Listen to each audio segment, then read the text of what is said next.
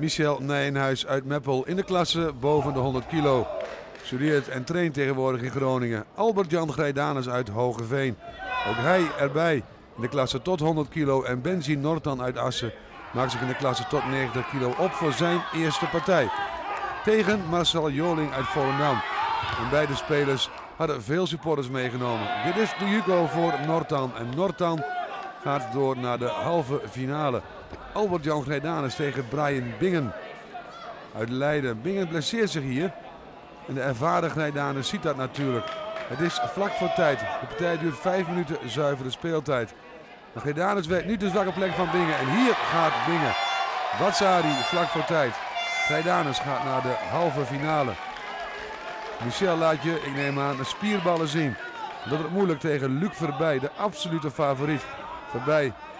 Hij deed mee het WK in Parijs. Hij stond al voor en Verbij maakt het hier af met Ippon. Voor Nijenhuis rest alleen nog maar de strijd om het brons. Daarvoor moet je eerst nog een andere partij zien te winnen. Veel mensen uit Assen, veel mensen uit Veendam zien hier de halve finale van Benji Nortan tegen Robbie van Laarhoven. De Brabander sport bij Jan de Rooij. Maar Nortan krijgt geen grip op die van Laarhoven. Hij krijgt een straf en nog een straf. En dat betekent dat je een Juco tegen hebt. En Nortan gaat naar de strijd om de brons. Greidanus dan tegen Benjamin van Leeuwarden. De Noord-Hollander. Zwaar favoriet tegen Greidanus. Het is een partij waarin de spelers ontzag voor elkaar tonen. En de judo krijgt een gouden straf. Greidanus staat op drie. Dan moet een Watsari gooien om gelijk te doen. Want bij drie straffen krijg je gewoon een half punt tegen. Dat lukt hem hier. Hij neemt over. En dan komt die sterke Greidanus. Het is dus gelijk.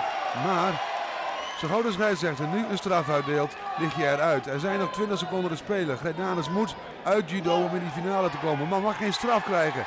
Een paar seconden en het lukt hem. De man uit Hogeveen, voor de eerste keer in zijn lange carrière, staat hij in de finale. En verdienst. Kan Michel Nijenhuis zich opheffen na zijn nederlaag tegen Luc Verbij. De Brabander Roy Meijer is zijn tegenstander. De winnaar plaatst zich om de strijd om de brons. En dan gebeurt er iets geks. Nijenhuis krijgt een straf. Dat zou betekenen allebei een straf. Ze zitten in de golden score. Als Roy Meijer de straf krijgt, wint Nijenhuis. De straf van Nijenhuis wordt ongedaan gemaakt. En dan gebeurt er dit. De scheidsrechter geeft de straf aan Roy Meijer. Kijkt u rechts onder in beeld. Juco is dan voor Nijenhuis in de golden score. Nijenhuis zit in de strijd om het brons dankzij een arbitrale beslissing. Alle drie de Drenthe kans op een medaille op de zondag. Benji Norzan. Hij speelt tegen Joop Terrile. En die klasse tot 90 kilo is een close klasse. Dat is een klasse waar iedereen van iedereen kan winnen. We hebben het al gezien eerder bijvoorbeeld in die halve finale partij. Benji Norzan, hij doet het uiterste. Hij wil toch wel graag die bronzen medaille. Hij had stiekem gehoopt op goud. Dat zat er dus na die halve finale niet meer in. Joop Terrile is geen slechte tegenstander. Goed gejudood werd er in die strijd om het brons. In Rotterdam waar, als de finales komen, de spotlights aangaan. Judobond doet er alles aan aantrekkelijk te maken. En kijk hier Nortan op kracht. En hier wint hij de partij. Benji Nortan pakt de bronzen medaille. Mark Huizinga, de oud-Olympisch kampioen, reikt hem uit. Nou, dat is toch iets om mooi op te zijn. Hij is er blij mee. Ja, op zich wel goed hoor. Ik uh, was jammer van de halve finale dat ik die verloor. Het was, uh, scheelde niet veel, maar ik kon net niet de winst naar me toe trekken. Eén strafje te veel, ja. Ja, één strafje te veel. Jammer, maar uh, ja, ik ben net nieuw in het gewicht en ik, ga, ik kan alleen nog maar groeien. Dus volgend jaar komt het goed. Als je praat over een ervaren man of een veteraan of een superveteraan, Hendrik Koppen, 49 jaar. Hij is de tegenstander van Michel Nijenhuis in de strijd om het brons. Geen eerlijke strijd. Nijenhuis is een goede judoka en een sterke judoka. Er staat al wat Sadi voor. En hier maakt hij Ippon. Na het zilver van vorig jaar is er nu dus brons van Nijenhuis. Gezien de loting is dit maximaal haalbaar, denk ik. Ja, ja zeker. Hoe ging je die, ja, die strijd de brons in? Uh, nou, ik had op 1KT natuurlijk al twee keer tegen hem gejudo'd. Daar had ik twee keer vrij snel van gewonnen. Dus ja, ik moest hem eigenlijk wel kunnen winnen. Maar ja, goed, ja, het blijft altijd lastig. Maar goed gedaan, Michel Nijenhuis. Albert-Jan Greidanus voor zijn finale, zijn eerste finale. Hij pept zich op. Berend Roorda is zijn tegenstander.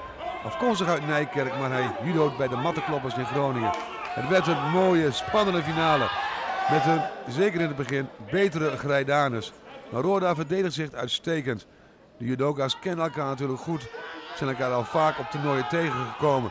Hier probeert Geidanus het weer. Maar weer is het Roda die zich eruit weet te redden. Dan krijgt Geidanus een strafje en iedereen denkt op de golden score. Want het blijft gelijk. En dan is het 1 seconde van tijd. En hier is het Juco voor Roda. Echt in de slotseconde.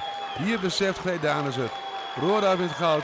Voor Greidanus rest het zilver. Ja, als er vanmorgen iemand tegen me had gezegd je wint zilver, ja, dan was ik hartstikke blij geweest. Maar op het moment dat je aan die finale draait, denk ik van ja, als je zo dichtbij zit, dan wil je hem ook pakken natuurlijk. Dan kan het. Dan ging het 1, ja, 1 2 seconden van tijd mis. Werd je overgepakt? Wat gebeurde er precies? Ja, ik denk dat ik nog één keer te gretig erin wilde en toen zat hij er goed voor. En dan, ja, dan ga je erover. Het is mijn Jucootje, dus kleinste score, dat is jammer. Toch nog een kleine glimlach? Ja, die, ja nou goed, die zal ook niet weggaan hoor, hoop ik. Over het hele weekend gezien hadden de Drentse judoka's vier bronzen en een zilveren medaille. En dat is geen slecht resultaat.